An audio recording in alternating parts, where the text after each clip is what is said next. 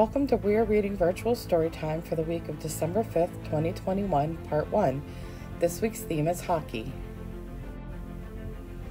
Lucy Tries Hockey, written by Lisa Bowes, illustrated by James Hearn. A great day to skate. The place is the pond. Everyone is here. It's a fun way to bond.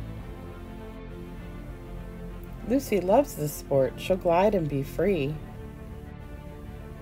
Outside with her friends, the best place to be. Look, they're playing hockey. May I try that too? Of course, say her parents. We support what you do. That night, Lucy preps for the big day ahead. Her gear lies in wait, her helmet bright red. Her dad meets the coach, her mom signs her in.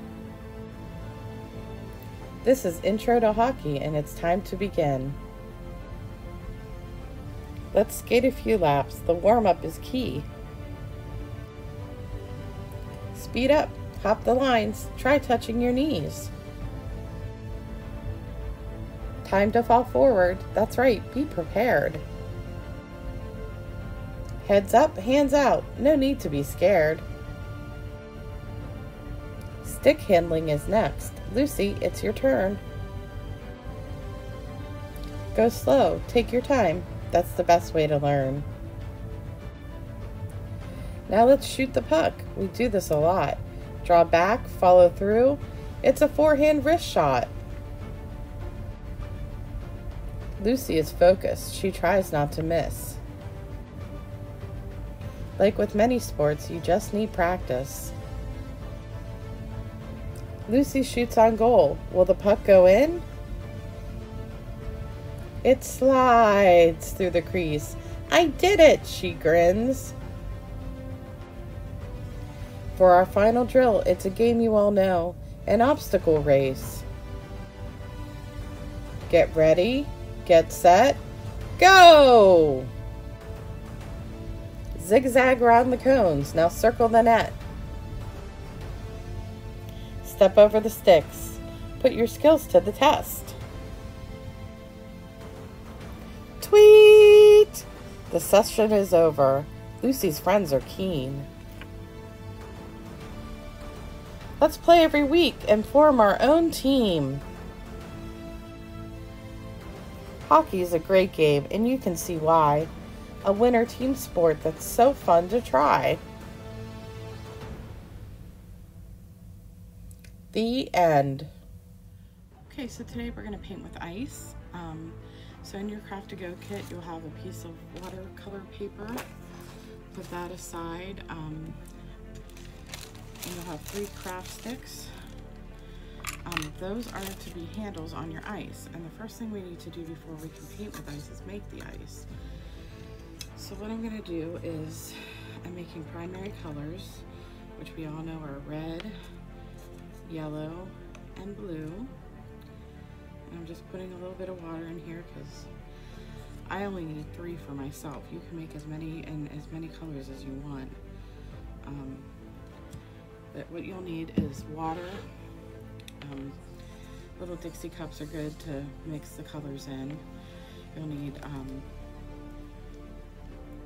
food coloring. Um, you'll need an ice cube tray and then you can also use a piece of foil or plastic wrap to kind of get these to stand up a bit. We'll try it. I haven't had much luck in the past, but we'll see how it goes. Um, I'm making this one yellow. I put like 10 drops in it, it doesn't matter. Um, you make it as dark as you want. This one looks orange even though it's um, yellow. We know that about food coloring um, but when it paints on the paper, it'll paint yellow. Um, this one I'm doing blue.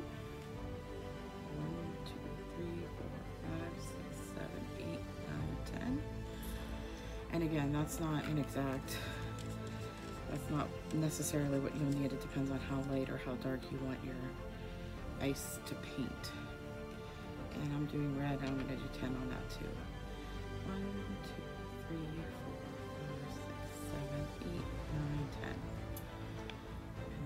over that. Okay. So I'm just gonna put these down over here, not overlapping. So I don't want the colors to mix yet. See how that's yellow even though it looks orange. So I'm gonna pour them into an ice cube compartment. It might be a little high. Space them out because I don't want them to mix if I'm doing them too high. That's two. That'll be three.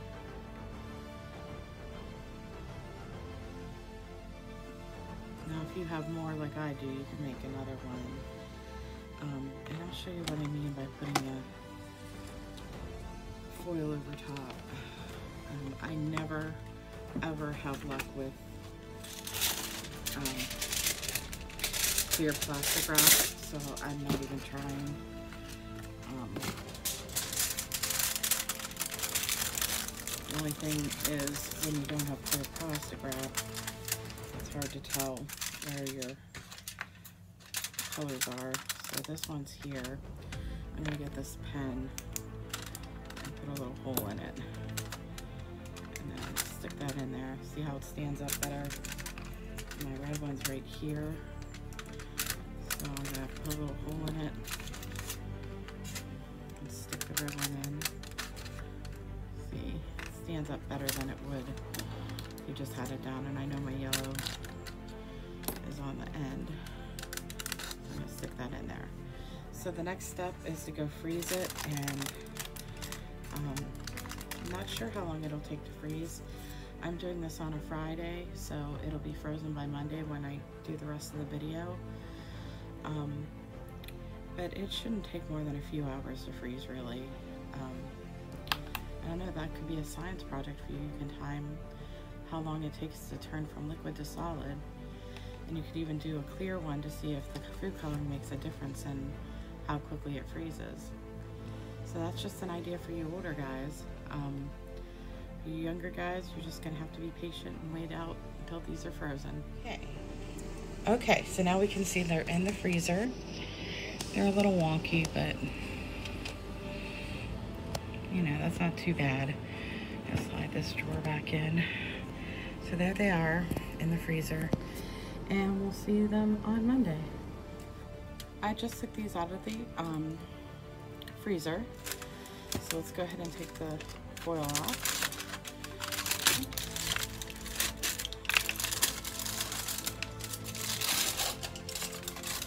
You can see I did put them a little high. Some of them ran over, which is why I separated them like this. But here's our yellow that looks orange. Here is our red. And here is our blue. So I'm just gonna let these sit for a couple minutes. Let them start to get melty. You can see I touched the blue and it's already on my fingers. Same with the red. Um, we'll let them get a little melty and then we'll start to paint with them. All right, so these are starting to get a little melty. So we're gonna take our watercolor paper that came in our Craft2Go kit and we're just gonna paint. So look at that. Probably even fill that in. And the longer these are out, the more they're gonna melt for you.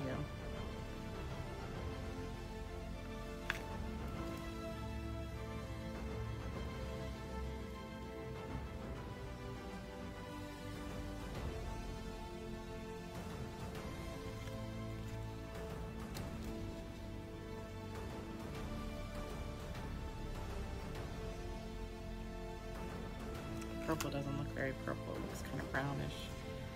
But um, was trying to overlap the colors to make, you can see the green with the red, or the blue and the yellow.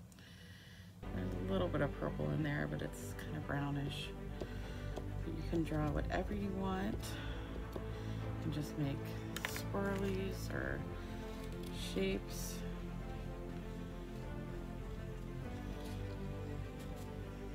It's weird. I would suggest putting more red in the red because this looks rather orange. The yellow turned out great. The blue is very blue.